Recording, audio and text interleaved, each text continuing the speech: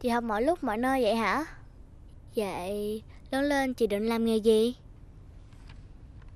Chị sẽ trở thành một nhà kinh doanh giỏi Chị định làm kinh doanh gì? Chị định sẽ vô làm trong công ty nhà mình Vậy hả? Mà sao chị lại thích làm công ty nhà mình vậy? Chị là đứa con gái lớn nhất trong nhà Nhưng mà Nói chuyện của công ty Em đâu có thấy bao giờ Ba giao cho ai là nữ đâu. Chắc ba chưa chọn được ai là người xứng đáng.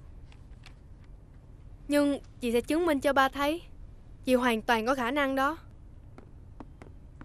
Còn thật sự muốn là người thừa kế của công ty nhà mình à? Cũng trễ rồi Thưa má con đi học. Con đừng mơ mộng cao quá. Ba con sẽ không bao giờ trao quyền thừa kế cho một đứa con gái đâu Suy nghĩ của con khác với suy nghĩ của má. Con sẽ không chấp nhận an phận như má đâu.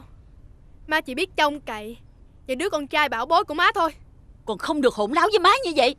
Má đừng vì chuyện liên quan tới thằng Bảo Mà trút giận hết lên đầu của tụi con như vậy. Sao tự nhiên con lôi em con vô chuyện này hả? Bảo nó bỏ nhà đi Là cũng tại vì má đó.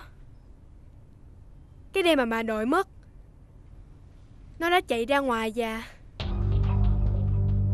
còn nói cái gì? Tình yêu đâu phải hy sinh là sẽ giữ được một người mãi mãi. Càng không phải cô níu với hai bàn tay ai ở bên. Vì sao không